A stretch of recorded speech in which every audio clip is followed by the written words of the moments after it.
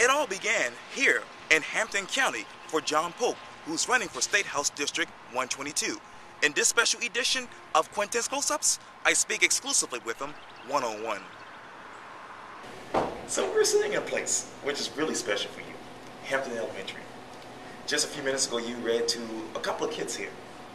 And from what I understand, when you were here, you graduated with the last eighth grade class. So what is it like to be back here now, John?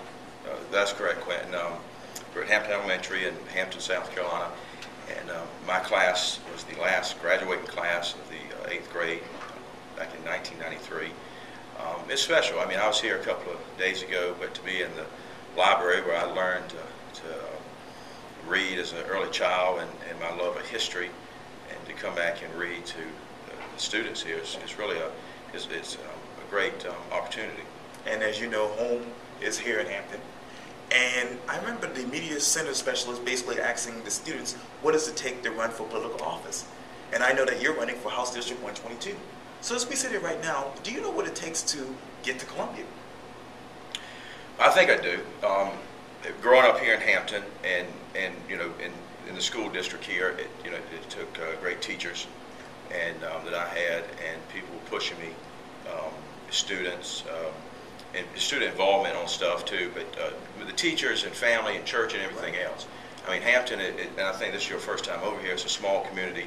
Everybody knows everybody, and you know, anything that people set out to do, a lot of times you get a, a lot of, of backing and support, and I hope to get that um, as I run for this House district. I mean, Hampton is a great place to raise family, great place to live, but uh, we've uh, we're hurting uh, desperately over the last several years with job losses, um, infrastructure, and the infrastructure has been bad in South Carolina for a long time. Sure. But in Hampton County, it's particularly bad because people have just kind of forgotten about this part of the state, and also Jasper County. Oh yeah. I mean, it, it's the, you know, we're not that far from Charleston, but we're far enough out that it's people don't even know where we are, or they know a little bit about it, and they come over here. As you know, we know, cell phone service today, trying to communicate with you. That's hard. Um, in the roads and, and everything else. Right. So we need to work on that okay. to, uh, to help create um, opportunities for people to stay in this area and not have to drive an hour and a half or, or 50 minutes or whatever to a job. We know you as John Polk, the political candidate, but I know you from your days at the Charleston City Market. Uh, I want to take it back because, from what I understand, you got your love from history right here in this media center, reading books and whatnot. And you went on to North Greenville University. And I'm wondering, when did the history bug bite you? Oh goodness, that was, I would have to go even further back okay. to uh, Ben Hazel Elementary, probably, yeah. or just studying my love, and, and, any teacher that would talk to you or tell you it was uh, presidential history.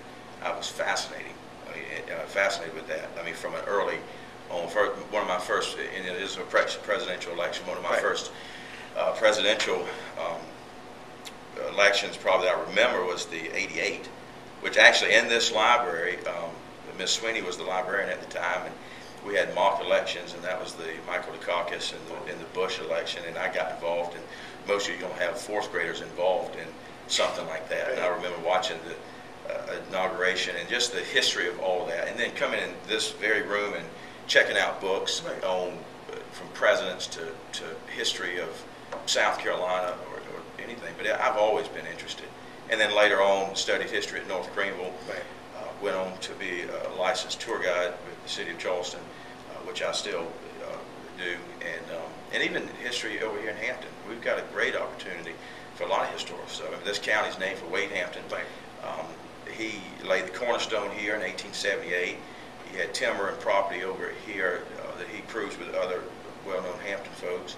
So it's a great, um, a, a lot of history in this part of the state. And let's continue down the history path because from what I understand, you actually went to church with President Jimmy Carter and his wife. I did. Um, a few years ago, I had the opportunity to, to go over the plains, and that's set up to anybody that, that wants to take that. And it was before he was sick. Right. And I took the, the um, opportunity, took off, and, and went over there to Plains and got to attend Sunday school, church. I got to meet him and Mrs. Carter, which was really neat because he was president when I was born. Yes and, and to meet um, him in person and have an opportunity to talk with him and, and tell him a little bit about my love of history and my political ambitions. And he wished me well. Yes. So.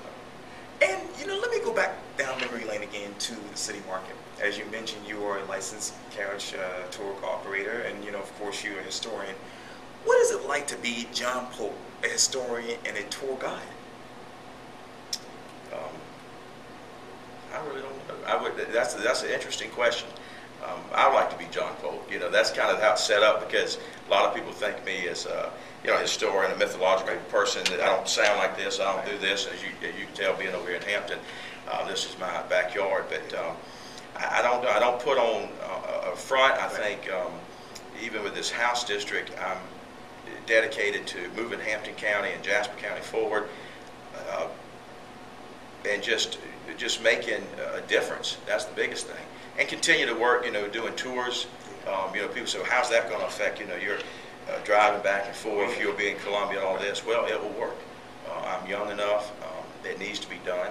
And it's a shame that you have to, I love my, the opportunity to work down in Charleston, but it's a shame that people like me and other folks have to travel for job opportunities.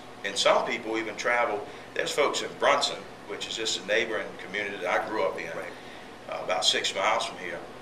They get up at 4.30 in the morning, get on a bus, drive, the bus takes them to Hilton Head. Right. It's about an hour and a half, two hours sometimes. They get off, go to work, work 12 hours, then get back on that bus and come back. Now, if it's a young man, a young family, they have no time to spend with their children, have no time to come to PTO, no time to get involved in the community. Right. And, and you know, you, that shouldn't be the case. There's children in this school that we're sitting Well, that on Friday afternoons, they leave, and the next meal they get might be when they come back on Monday. And uh, a lot of people don't realize that. Poverty is still an issue in the state. It's still an issue in this district. And I, I you know, you got teachers, you got good teachers, um, like Tracy Preston at, at Brunson Elementary, that has taken initiatives to help that. And um, um, teachers and principals that make sure that they have some a bag lunch. And it's not that you know you'll hear people say, "Oh, well, they're um, the parents are doing this and that and other." No, you've got people working two or three jobs, yeah. and and, and not necessarily. And there's people in this county that still don't have running water. And I know that's kind of a shock because you know coming from Charleston and other folks you've Right. interviewed, Right. and and you know I'll be glad to take you around and show you some of that, and it just blows people's minds. Wow. And on a state level, there, sh- there should be no way in this day and age in 2016 that we have that, especially with our children. Right. And and that's one thing. Have initial set up. There's there's surplus on this that we could do to at least help. And, and you know a lot of these Republicans on on some things want to talk about the funding and all this, but also also if they they claim that, but altogether they claim they're Christian. And, and is that is a, a main thing too. If you claim to be that, you need to look out and see what uh, Jesus did for people. And I know that people don't want to get involved in that politics and religion, but if you claim to be that on one thing and stuff, you need to help folks like that. And it's a shame that you've got young children in this school, in Brunson Elementary, in this county, in this district, in, in Hampton, and Jasper. That, that should be an issue. And that should be, that's not a political issue. As human beings, that should be something that we take to, to help our, our better man and help people move forward and, and just get them where they are like me, you know, coming in and uh, want to run for office and help the people of this county and this district. And you know, from my understanding too, I want to take you back down memory lane because you first got your job with the tour guide and whatnot after you saw an advertisement in the newspaper. Mhm. Talk to me more about that. Well, I worked for the University of South Carolina, Salkehatchie, with a grant program. I've been interested in education and helping young people uh, for a long time, and that kind of fizzled out. Um, the grant wasn't refunded. Okay. And I needed um, to find some course. Even then, there was not too much around here, so I uh, saw an ad in the Post and Courier and, and applied and, um, and kind of started my carriage days Yes. um, 10 years ago now. Wow. And what is the biggest difference between now and 10 years ago in your mind? With carriages or just, I mean, a lot of things have changed because technology's changed. You know, now, especially with the given tours, you've got applications, you've got all this stuff that you did, and then people don't necessarily feel they need to hire a licensed tour guide. And that, that whole debate Oh, yes. recently about the freedom of, of speech and should you be licensed to do that, which I think you should. Okay. Um, you, have to be a license to get your hair cut. My mother's a hairdresser. She'll tell you all that. Uh, you have to have a license to do this and that and other. It's not a license of freedom of, of speech. Now, if you want to go out and give people free tours there, that's one thing. But um, this things have changed with technology, the rules and regulations um, with, with Charleston in general. You know, driving. When I drive in in the morning, it is chaos. It, Ten years ago, traffic was bad, but not as bad as what it is coming into West Ashley. And then this morning, y'all had problems even getting out of Charleston to come this way, uh, what I understand. And so, um, you know, that, that, uh, things have just changed in general, and, and with, uh, population and people coming in and out, and, and I wish they would shift that and come this way. We've got all kind of things over here they come through history-wise. I don't know how horse and carriages work in downtown Hampton, but, uh, you could have initiatives to have things, because this area of the state, um, General Sherman came through. You've got a lot of war between the states history. Um, Harriet Tubman came through this county. Um, you've got a lot of, all kind of history here. And we also own major transits. Uh, we're not that far from I-95. 278 still runs Yes. down from, if you're leaving out of Augusta. We get a lot of traffic doing the, the between the uh, Masters and the uh, Heritage because they leave Augusta and then usually take 278 down to Hilton Head. Right. So somehow we could uh, learn to latch on that somehow, that could at least give us some industry, at least for maybe a week or so, to do something and promote something. You know, we do have the Watermelon Festival. Yes. Um, that's coming up in June, and that's been a, a, a big thing for years. Yeah. They always say every political candidate, I know you've interviewed a lot, but if they run on the state level, they need to come Come to the to- Hampton Water, Watermelon Festival. That's where Mendel Rivers got his start years ago in 1940. Strom Thurmond's been here, Fritz Hollings, governors, congressmen, and as you know, Congressman Clyburn's our congressman in this district now. So that, that used to be a big, big festival. Describe to me the following one word: the Young Democrats of South Carolina. Leadership, Because you became uh, representative for Hampton County. leadership. Where are you emotionally with that, job? Um, I'm excited about it, um, and and it was uh, given to me, and it's going to help a lot in what I'm doing. Sure. I had people joke. They said, "What does young mean?" Because uh, uh, I don't know what the, the age bracket on that's between 18 and 39. I'm still in that age bracket, but um, it, it's going to take a lot of work because this area is highly Democrat, but we've kind of been complacent over the years. Same thing with this district. Um, things have kind of just been stagnant Right. and we need to get more involved, especially with the Democratic Party in Hampton, because we've been a strong um, county with the Democratic Party. But it's interesting because if you look at the Republican primary recently, how many people have voted in the Republican primary here, Versus. and then also how many people voted for Trump in Right. Hampton County. And I didn't think I would see, see that high but number, um, period. So, but um, yeah, I'm involved in that with the Young uh, Democrats, the Sea Island chapter, and been, as you said, appointed as the uh, representative for Hampton County. Yeah. Yeah. Working in Congress was.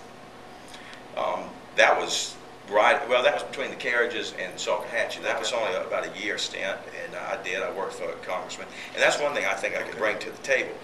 Um, As you probably know, doing some of your research, I worked for both parties. I was a page for Senator Thurmond in Right. high school. Saw picture of Um, that. I later went on and worked for Congressman Gresham Barrett, a Citadel grad from the upstate. Um, Started out with legislative affairs, went on to work with military affairs and uh, district grant work and stuff in the district. Okay. And that's the thing, you know, Democrat, Republican, it's helping people. You know, that's the thing for years, Senator Thurmond and Senator Hollings did. And even before some of these other House members years ago, we had people that looked out and they care less about, um, you know, the, working the way up, trying to, you know, be vice president or whatever, or governor or whatever. They, they worked in them and they um, saw that they needed to retire, they retired, and they did what they did for the people. And I think that's what we need, somebody in this area again to do that. Because I've helped people of all walks of life. Yes. You know, people say, oh, you're a Democrat, I'm a Republican. I'm a progressive, you know, and, and moving um, District 122 forward on a lot of stuff, you know, and we need somebody to fight. You know, we've had people up there in the past, or our current legislator is kind of complacent, sits back, he doesn't uh, fight the fight. You know, go to the well, argue the point, then you can come back and bring to your district, you know, I at least try to fight for it. At least, you know, we had a plant here, Westinghouse, that was, oh yeah, that was, that plant was so big here, it started in 1940, 1941. I mean, my great-grandfather, they got him out of the sharecropping business to work there. My grandfather, my grandmother worked out there briefly. My great aunt, my daddy, um, friends, families, stepdads, uh, my mom's boyfriend worked out until recently. I mean, just till they closed it, and there was nothing that I, that I saw personally that anybody fought to keep that plant. And they they lost I don't know how many jobs out there, and that was a vital part of this community. I mean, we don't have too much here anymore. When that went, it was it was terrible. And and you know we are on the on the I-95 corridor. Of course, we're in that part of that corridor shame as well. Right. But there's opportunities, land over here. One thing with cell phone service. I mean, we need uh, cell phone towers. Yes. I mean, we need it because you've got that. That will increase business because why would you come here and like you couldn't even get a, a signal or trying to call or what have you, and and that will start off trying to help industry with things. I think, and there's also the education stuff and things coming down from the state that the governor has vetoed over the years. But and she's from Bamberg. She knows this area. She knows the poverty. She knows this stuff, you know. And, and I'm not running against her on this. I've I've, I've been um, and I'm happy with her, and I think she was did a great job with leadership with the flag situation um, after that terrible shooting in Charleston and some other things. But overall, we desperately need help, and we need somebody to fight Sure. and and bring things moving forward because change always scares people. And I'm not, you know, I'm not coming, I won't change this, change that, but just move forward to get us out of this idle state. And it can be done. It can be done. So I, you know, I ask for uh, everyone's vote in, in District 122. The primary is June 14th. Right. And then, uh, when I win, I'm being Okay. optimistic. We've got a general election in November. okay. Describe to me Lieutenant Governor Molly. to talk about my uh, blue tick beagles, that that's a whole nother story in itself. She came to me unexpectedly about two years ago with my mother adopting her from the animal shelter for my little niece. And I was back and forth, and, and Molly took a liking to me. Okay. And so I deemed her the lieutenant governor because I have a nickname as governor and Right. senator and all Right, kinds right. of stuff. Dating back to my days, even uh, as a student body president of Wade Hampton High School, involved in the student council here at Hampton Elementary. And so she uh, she's been a part of my life and, and goes uh, all over the place. Yes, I know. Uh, she's not here today, Right, um, but she's out there in the country. You know, Okay. she's she's out in the country with her her companion buddy, country dogs. They're running around. But uh, yeah, she actually had the opportunity to meet uh, Lieutenant Governor McMaster a few weeks ago, and That's she good. wears those pearl necklaces. Right. She was confirmed in St. Michael's, and Oh, wow. even though she's a Baptist, but she's blessed in the Episcopal Church. Right. So, And you know, of course, we know you. I I mean, you're a political candidate. You are a tour guide, but at the end of the day, who is John Polk as a person? as a person, uh, I don't think a lot of people really know me as a person. They know of me. They know the the the, the uh, character uh, that uh, they think I am, a mythological person or what have you. Okay. But deep down, you know, I'm a caring, loving person.